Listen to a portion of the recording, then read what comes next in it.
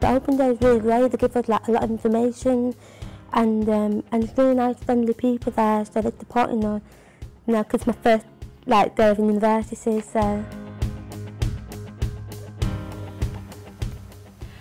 Because I visited other universities, like I went to Salford and Manchester, and other places, I didn't feel as though I'd be safe there really. Um, I'm from Bolton College anyway, so I feel more safe here, and I thought Bolton University would be good for me.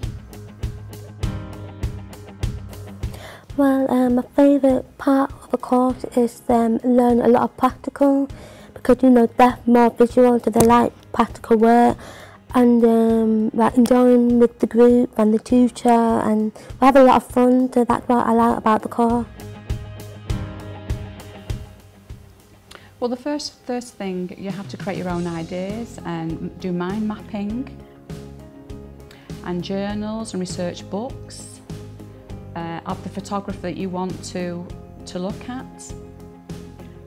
And we visit galleries, museums,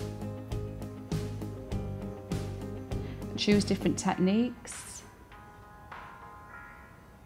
and show what's good and bad about uh, in the lighting and the cameras and, and then, you, then you can obviously do your final project.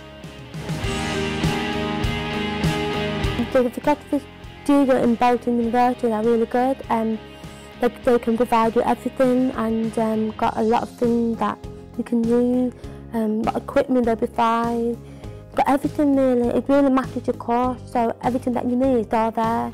So it's really good and you can have fun, you can book anytime to do some work, things, so I think it's really good.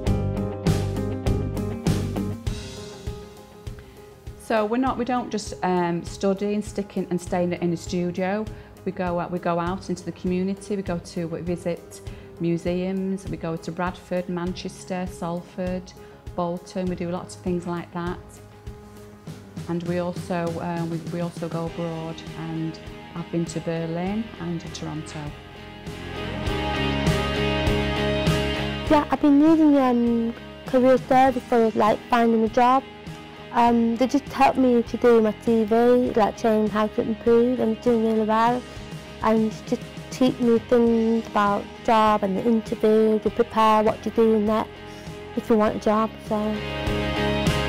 I'd say I would recommend coming to, to the University of Bolton because there's lots of good support for deaf people and for hearing students as well. So it's a very good university and it's got lots of resources.